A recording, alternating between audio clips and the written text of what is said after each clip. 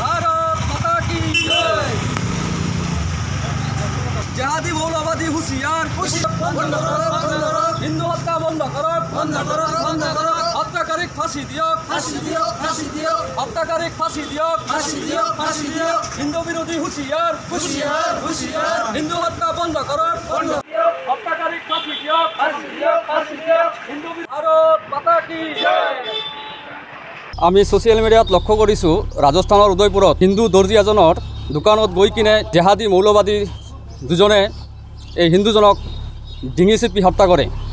সেইটো তীব্ৰ ভাষাৰে আমি ৰাষ্ট্ৰীয় জনকল্যাণকাৰী পৰিষদ চিৰাং জিলা সমিতিৰ তৰফৰ পৰা আজি এই প্ৰতিবাদী কাৰ্যসূচী হাতত লৈছোঁ। এই জেহাদী মৌলবাদীবিলাকক আমি ইয়াৰ পৰা সকীয়াই দিছোঁ যে এই ভাৰতবৰ্ষ এইখন হিন্দুস্থান এইখন আমাৰ দেশ।